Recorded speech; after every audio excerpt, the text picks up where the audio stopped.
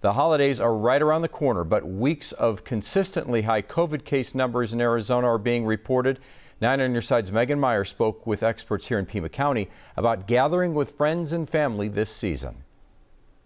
The Arizona Department of Health Services is reporting over 3,100 new COVID cases Tuesday. Over 450 of those new cases are in Pima County. The virus, as you just indicated, is circulating in our communities. And in fact, you know, we've been very hard hit in Arizona, even though I think we sometimes tend to not think that's the case. W. Mark Clark is the president and CEO of the Pima Council on Aging, who is encouraging the community to stay vigilant when it comes to COVID 19. On November 9th of last year, just over 3,000 new cases were also reported in Arizona. The virus is clearly still spread throughout the state of Arizona. This graph from ADHS shows a steady upward trend in cases over the last month. And with the holidays fast approaching, here are some things to consider. I think it would be a great a great opportunity to go ahead and maybe have that um,